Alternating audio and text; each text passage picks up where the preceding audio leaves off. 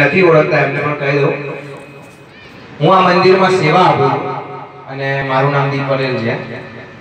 આજે આપણે દસમા અને બારમા નું જે પરિણામ આવવાનું છે, અને બાર સાયન્સનું તો પરિણામ આવી ગયું છે, એના પછી બાળકોને કઈ રીતે ઘડવા અને બાળકોને શું કરવું, શું ના કરવું, તે અંગે હું થોડી ચર્ચા કરવા જો મારું વક્તવ્ય ગમે તમે તો ઘરે જઈ તમારા બાળકને તમારા અહીંયા તો વડીલો તમામ ઉપસ્થિત છે. તો તમારા પૌત્રને એક વખત તમારી જોડે બેસાડીને પૂછજો કે બેટા, તારે શું કરવું છે શું નહીં. આ બધા હાલ જોઈ રહ્યા છો કે બાર સાયન્સનું રિઝલ્ટ કેટલું ખરાબ આવ્યું ગયું. એટલી ખરાબ પરિસ્થિતિમાં સાયન્સનું રિઝલ્ટ આવ્યું કે ભણનારા છોકરાઓ ફેલ થયા અને ના ભણનારા છોકરાઓ પાસ થયા.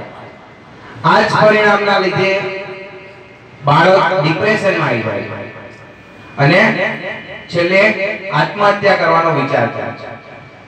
હું મા બાપને પૂછવા માંગુ છું, શું તમારો છોકરો ભણે છે કે તમારા દબાણથી ભણે છે કે એના ખુલ્લા દિલથી ભણે છે? છોકરો 10 પાસ થાય છે, પણ કેવી દેખાદેખી મા બાપ પેલાના છોકરાએ સાયન્સ લીધું છે, મારો છોકરો પણ સાયન્સ જ લેશે.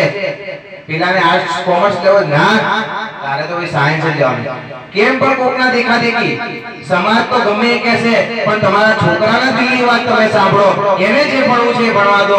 કેમ કે તમારા કેવા પ્રમાણે ભણી તો લેશે, પણ જો ખરાબ રિઝલ્ટ આવ્યું એના જવાબદાર પછી છોકરો નથી. અત્યારના જમાનામાં દેખા દેખી, પેલાનો છોકરો આ સ્કૂલમાં ભણે તો મારો કેમ? પેલાનો ડોક્ટર બન્યો તો મારો છોકરો પણ ડોક્ટર બનશે. પણ કેમ? એના અંદરની એક કળાને જાગવા દો. શરૂઆતથી તમે મા બાપ જ છોકરાને બગાડે અત્યારે હાલમાં પણ તમે જોતા હશો. છોકરું ઘોડિયા મૂકે અને રડે, તો યુટ્યુબ ચાલુ કરી સીધું કાર્ટૂન બતાવી દે. પછી મોટા થાય એટલે મોબાઈલની ટેવ તો પડી જ ગઈ હોય. પછી કે મોબાઈલ છોડ ક્યાંથી છોડે. તમે જ નાનપણથી શીખવાડ્યું છે યુટ્યુબ પર વિડિયો જોવાનું. સાચી વાત? કડવી સત્યતા છે. છોકરા બગાડવામાં મોટો હાથ મા બાપનો છે. લાડ હોય પાડ હોય, બધું જ હોય, સોનાના કોળિયા થાય પણ એની મર્યાદા. તમે છોકરાને પૂછો કે તારે શું થવું છે? તમારી પણ એક ઈચ્છા હોય કે મારા મા બાપના કીધા પ્રમાણે છોકરો ભણે. પણ એને જે ઈચ્છા હોય, ઘણા છોકરા ડ્રોઈંગમાં એક્સપર્ટ હોય, ઘણા બોલવામાં એક્સપર્ટ હોય, ઘણા રમતમાં